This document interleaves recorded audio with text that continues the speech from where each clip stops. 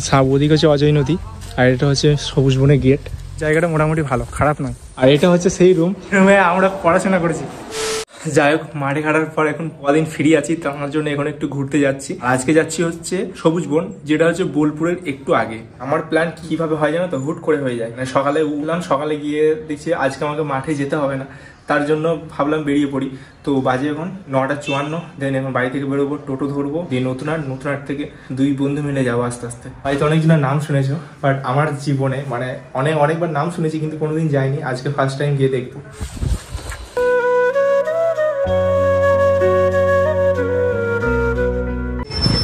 এত আসতে? এখন বাইকে উঠে পড়েছি। এখান থেকে যাব হচ্ছে সবুজ বন। আর সবুজ বনের দূরত্ব হচ্ছে এখান থেকে প্রায় পঁচিশ কিলোমিটার। কারণ আমাদের বোলপুর হচ্ছে পাঁচ কিলোমিটার কমই বললাম।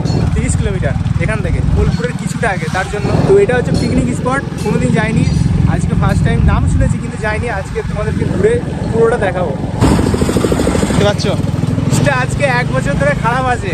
আজকে সেই রাস্তাটা বাগাচ্ছে কি অবস্থা? অজয় নদীর ব্রিজ যেটাকে লচনদার সেতু এটা হচ্ছে যাওয়ার মানে উত্তরবঙ্গ যাওয়ার অনেক বীজ পড়ে গেল। ওই ভাই বীজ পড়ে গেছে। একশো কত কিলোমিটার শর্ট উত্তরবঙ্গ।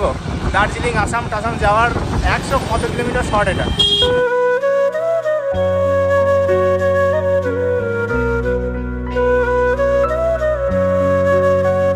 এবার পৌঁছালাম বাসা পাড়া এখানে খাওয়া দাওয়া করতে হবে ভাই। খিদে পেয়েছে। আর বাজে দশটা চুয়াল্লিশ হয়ে গেছে। এখানে খাওয়া দাওয়া করব দিন আবার এখান থেকে রওনা হব। ঠিক আছে বাদশাহ হ্যাঁ হ্যাঁ বোম্বে বিরিয়ানি। হ্যাঁ সেরা পড়া কত কালে সবজি দিয়ে। বসে খাওয়া হবে ভাই। পরোটা এটার দাম হচ্ছে কুড়ি টাকা। পরোটা আছে দু পিস ঘুগনি। আর এটা কি চাটনি নাকি? চাটনি। চাটনি স্যালাড। ভালো ভাই। খারাপ নয়। খাওয়া ডাউন করে ওখানে পরোটা রেট ছিল কুড়ি টাকা। বাট খেতে ভাই ঠিকঠাকই ছিল। আর একটা স্পেশাল থালিটা কি বলছে সেটা একটা মিনি একদিন দেখতে পাবে। Then এখান থেকে প্রায় কুড়ি কিলোমিটার যেতে হবে। ডাইরেক্ট গিয়ে কথা হচ্ছে সবুজ করে আর রাস্তাঘাটে যেসব গ্রামগুলো পড়বে সেগুলো একটু করে তোমাদেরকে দেখাবো। আর রোড পুরো ফাঁকা সেগুলো না এই লাইনে বাসের একটা খুব খারাপ। যে বাসে তুমি যদি আসো তিরিশ কিলোমিটার রাস্তা তোমার যেতে টাইম লাগবে এক ঘণ্টা পঁয়তাল্লিশ যেটা বাইকে গেলে তোমার লাগবে শুধু পঁয়তাল্লিশ মিনিট তার জন্য বাইকে গেলে তোমার টাইমটা অনেকটা বেশি সেফটি হবে সামনে হচ্ছে বোলপুর রোড আর আমাদেরকে ভেঙে যেতে হবে কোন দিকে? বাঁ দিকে এইদিকে? নিমতলা এখানে ভেঙে এদিকে যেতে হবে। না। আবার এরকম একটা জায়গায় এক করে এরকম একটা প্লেসে যেতে হবে। ঢালাই রাস্তা গ্রামের ভিতরে ভিতরে নাকি? ভাই সাহ এত গ্রামের ভিতরে ভিতরে কারা পিকনিক করতে যায় তা কে জানে? সবুজ বনে এসে এখানে অজয় নদী। সাব ওদিকে হচ্ছে অজয় নদী আর এটা হচ্ছে সবুজ বনের গেট এটা নাকি বলছি পুরোটা পাবলিকের সরকারি নয়। তো এখানে টিকিট মূল্য হচ্ছে তিরিশ টাকা মানে এক ঘণ্টা থাকতে পারবে চলো এখানে এন্ট্রি হওয়া যায় আর প্রথম ঢুকে এখানে দেখতে পাচ্ছ এটা কি অদ্ভুত প্রজাতির একটা গাছ। মানে এটা কীভাবে কি করেছে সেটা জানি না। নিশ্চয়ই তার দিয়ে না হলে কিন্তু এটা হয় না। তার ঠিক পরেই এখানে আবার একটা দেখতে পাবে। এখানে আরও একটা কি গাছ রয়েছে ভাই? এটা কি গাছ একটু জানলে কমেন্ট করে জানাবে। দেখে মনে হচ্ছে সুপারি গাছ বাট শিওর না। সবুজ বন তো সবুজ বনই। সবুজ প্রকৃতির মধ্যে। গ্রাম বাংলায় কিন্তু এরকম পরিবেশ আমরা ডেলি দেখি তার জন্য না এখানে বড় বড় লেবু ঝুলছে। কেউ নিলে নিতে পারবে ক্যামেরা তো নেই।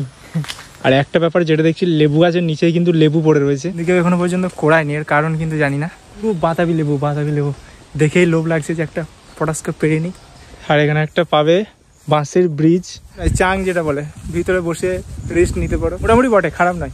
দেখো সেম জিনিস যেটা আমি পেয়েছিলাম সেদিন গ্রামে। ঠিক ডাইনিং টেবিল যেভাবে ছিল এটাও কিন্তু সেম এখন এসেছি হচ্ছে কলা বাগানে। তো কলা গাছ কলা গাছ সাধারণত কীরকম হয়?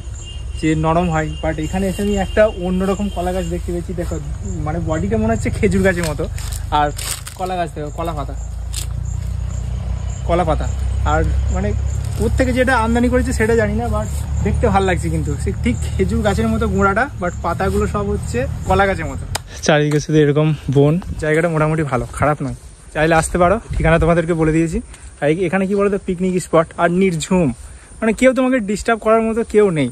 আরাম করে তুমি এখানে গল্প করো কারোর সাথে আর টিকিট মূল্য তিরিশ টাকা করে আর এক এক ঘণ্টার বেশি কিন্তু তোমাদেরকে থাকতে দেবে না। উজবনে এসে সবুজের মধ্যে গরু দেখতে পেলাম। এই একটা গরু আর একটা গরু সামনে লাল কালারে। সবুজ বনে আর কিচ্ছু নেই ভাই। তিরিশ টাকা জলে গেল। কেউ এলে আসতে পারো অসুবিধা নেই বাট গার্লফ্রেন্ডকে সঙ্গে নিয়ে এসো। হ্যাঁ আমাদের মধ্যে একা একা এসো না। যাই হোক সবুজ বনের মধ্যে। আর কিছু তো দেখতে পাচ্ছি না। তো এখান থেকে এবার বেরো বেরোবো। প্রায় এক ঘণ্টার কাছাকাছি হতে যাচ্ছে। এর বেশি থাকলে হয়তো আমাদেরকে ডাবল পয়সা লাগবে। আর আমাদের একদমই ইচ্ছা নেই যে ডাবল পয়সা দিই। ঘোরা কমপ্লিট। সেভাবে কিছু নেই শুধু সবুজ বন মানে সবুজের যে প্রকৃতিগুলো থাকে সেগুলোই আছে। চাইলে আসতে পারো। আর এই যে প্রকৃতিটা দেখলাম মানে বিভিন্ন রকম গাছ দেখলাম আর বাকি যেগুলো দেখলাম সেগুলো কিন্তু আমাদের গ্রামগঞ্জেও পাওয়া যায়। যেতে যেতে এখানে একটা দেখতে পেলাম একটা ক্যানেল ক্যানেল তো নয় ভাই ড্যামের মধ্যে পড়ছে বাট এটা একটা ক্যানেল তো এখানে গেট আছে টোটাল ছটা। একটা দুটো তিনটে চারটে পাঁচটে ছটা। তো জল সেভাবে নাই মানে জলে যদি চাপ থাকতো না তাহলে উপর থেকে জলটা পড়তো তখন কিন্তু দেখতে ভালো লাগতো ড্যামের মধ্যে কিন্তু অতটা নেই। এইখান থেকে দেখতে ভাই সেই লাগছে। মনে হচ্ছে যেন কোনো একটা ব্যারেজ বাট এটা একটা ক্যানেল এসে এইখানে মানে কি বলতো এই থেকে একটা ক্যানেল আসছে আর ওদিক থেকে একটা ক্যানেল দুটো ক্যানেলের মাঝে একটা এরকম ড্যাম্পের মতো করে দিয়েছে। নদী না ক্যানেল সেটাও জানি না। বাট ভাই সাফ মানে একটাই খোলা আছে কত জোরে ওখানে ঢেউ উঠছে দেখো। এতগুলোর মধ্যে শুধু একটা শুধু খোলা আছে একটা। আর ওটা হচ্ছে মিটার এটা হচ্ছে নার্সিং কলেজ নার্সিংয়ে পড়তে পারো পড়তে চাও চলে আসবে। এখানে নিমতলাতে নামতে হবে নিমতলা নিশ্চয়ই জায়গাটার নাম বোলপুর। বাহির স্কুল যেটার জন্য অনেক নাম করে সবাই। এই লেভেলের ভাই মাঠটা। হার শ্রেণি নিয়ে। এখন আমরা যাচ্ছি হচ্ছে কুজুরি পাড়া যে কলেজে আমরা পড়াশোনা করেছি সেই কলেজটাকে একবার শেষবারের মতো দেখে তারপর দিক থেকে বাড়ি যাব। খুজুরিপাড়া কলেজে আমরা আমরা যখন পড়তাম না তখন কিন্তু এই বিল্ডিংটা হয় না ছিল। এখন হয়েছে। দেন আমরা এসে আমার এখানে একটা কথা মনে পড়ে গেলো আমার কিন্তু এখন একটা রেজাল্ট বাকি আছে। সেই জিনিসটা নিতে গেলে হয় হ্যাঁ? নুপো কি করে আমার তো কিছু ডকুমেন্টস ডকুমেন্ট আনি নাই তাহলে?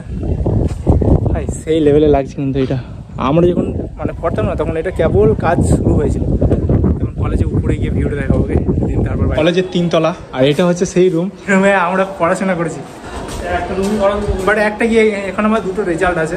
তিনশো এক। নাম্বার চেঞ্জ করে দিয়েছে ষাট ছিল। পাড়া থেকে এসেছি আবার সেই দোকানে এখানে বিরিয়ানি খাব দেন এখান থেকে বাড়ি। ও বিরিয়ানি। যাই এখন বিরিয়ানি রেডি দু পিস মাংস স্যালাড তিন পিস মাংস ভাই তিনটে মাংস একটা বড় আলু। ও সেই টেস্ট ভাই। অনেক। খাওয়া দাওয়া কমপ্লিট করে এখন যাচ্ছি বাড়ি। বাজে এখন দুপুর। দুটো উনিশ মানে বাড়িতে গিয়ে আমার একটা ঘুম হয়ে যাবে, এই একটা ভালো জিনিস। আবার দেখা যাক টোটো পাই নাকি মানে একটা আনটাইমে বাড়ি যাচ্ছি, ওখান থেকে টোটো পাবো নাকি মানে শিওর না। ফাইনালি পৌঁছালাম বাড়িতে। বাজে এখন দুটো ছাপান্ন এখানে একটু ঘুমাবো। তো এই ব্লগটা এইটুকু ছিল আমরা কমেন্ট করে জানিও। চ্যানেল নতুন সাবস্ক্রাইব করে দেবে দেখা হচ্ছে নেক্সট একটা ভিডিওর সাথে, ততক্ষণ যেন ভালো সুস্থ দেখো লাভ ইউ